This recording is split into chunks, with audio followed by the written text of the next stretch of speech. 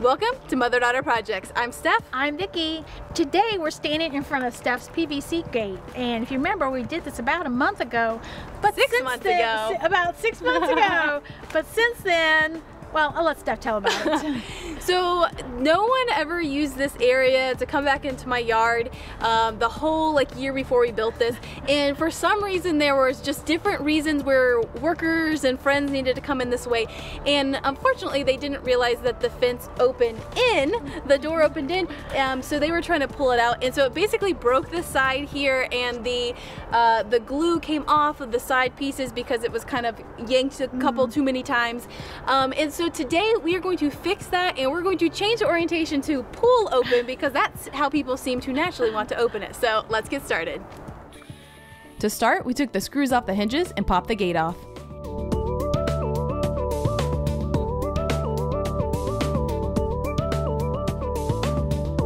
In the garage, we fully removed the hinges. We placed the gate on the workbench to get started, and this is the moment we discovered we had another issue we needed to address. Because we never fully sealed the PVC connectors, water has apparently been collecting inside the pipes. So we used puppy pads to soak up the water and brought it outside to drain off the rest of the water. Back inside, we scraped out the glue that got disconnected, which was really easily done with a plastic razor blade. Then we pulled off this side and put the hinges back in place, and we added a third hinge, which we had purchased a while ago but never actually used. We went back outside to make sure the placement was right, as this time we're going to have the gate open instead of in. Next, we started to glue the top and bottom panel back to the frame.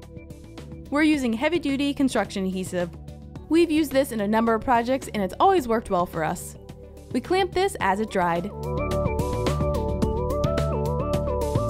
We put the hinge piece back in place and glued the panel to the frame. We're using our favorite battery powered caulk gun which makes quick work of these kind of projects. After 24 hours, I removed the clamps and positioned the gate on the floor.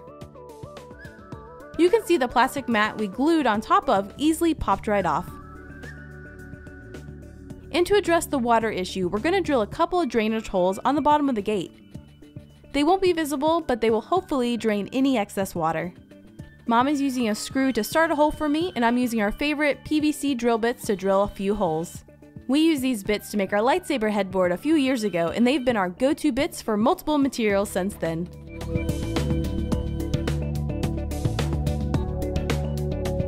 With that done, we took it back outside and just snapped the hinges into place and secured them with screws.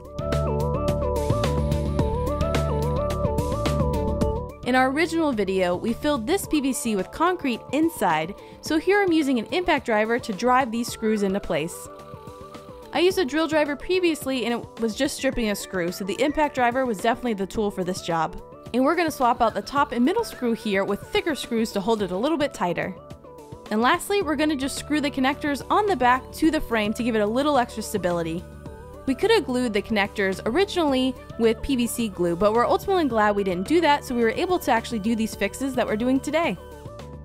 And to be super sure people are not going to break this gate again, we added some vinyl lettering to clearly tell people that you need to pull to open the gate. Thanks for joining us and we'll see you next time. If you want to see more projects from us, be sure to visit us at motherdaughterprojects.com. Bye. Bye. Bye, Mac.